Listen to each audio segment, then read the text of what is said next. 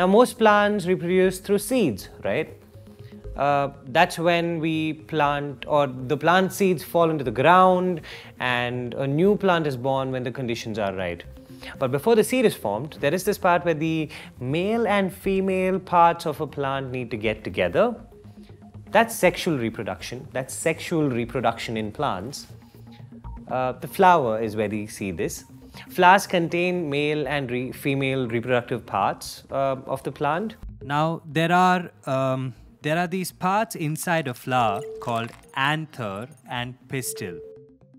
Now, there are flowers which have both these parts. Some have only the anther, some have only the pistil, and so on.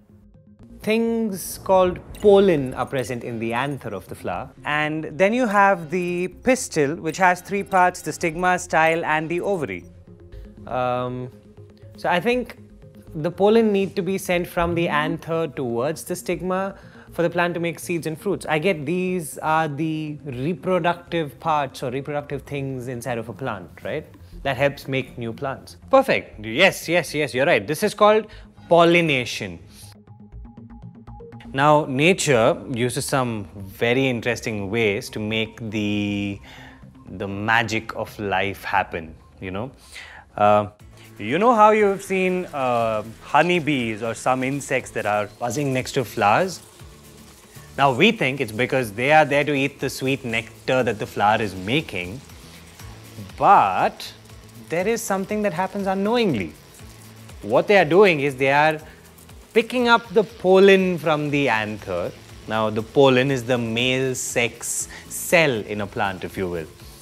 Now the pollen cells are picked up by these insects and taken from one flower to another by the insects, right? And the ovary contains the female sex cells of a plant.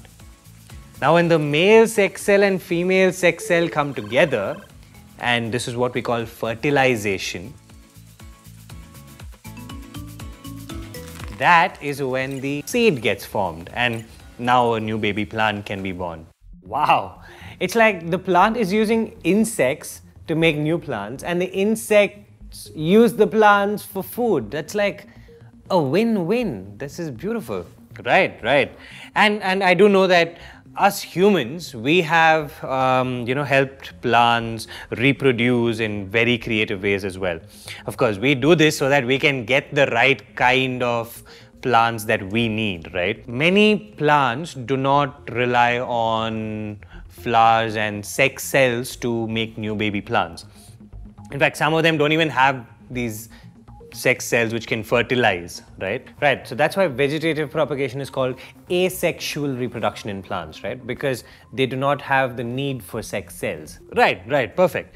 So now such plants have a very special way in which they can reproduce without pollination and fertilization. Now take a carrot plant for example.